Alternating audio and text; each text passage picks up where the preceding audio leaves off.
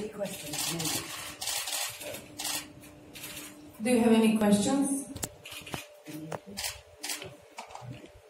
Uh, in English or in Bosnian we have something. Evo, uh, u, meč protiv Bosne i Hercegovine, meč protiv Bosne i Hercegovine uh, i vi ne igrate sa najboljim igračem kao i Bosna i Hercegovina.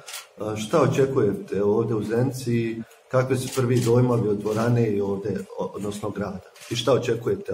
Da li očekujete prolazak ili? Hvala. Uh, what do you expect uh, uh, from this match since you don't play with your best uh, team player uh, like Bosnia team? And um, what do you think about Arena, Zenica, and um, in, stuff in general? Yeah, so uh, the match, uh, I rate uh, very tough match because uh, Bosnia is playing at home. They can uh, choose the, the, the surface, which is uh, a little bit slow. But what I see today, they play with the number one player, Damir.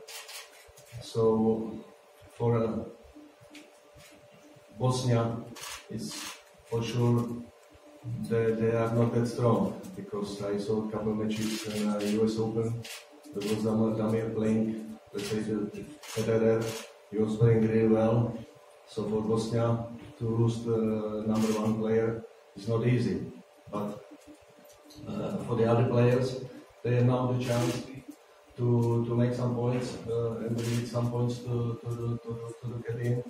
Then they, they, they can play without uh, any any psychical problems, you know. And uh, I hope that uh, we. I also Thomas uh, Lucas Lucas uh, Rosoli stayed at home, you know. So we have also player number two. But I bring a young team with uh, champion of uh, US Open, uh, Jonas Vojtek.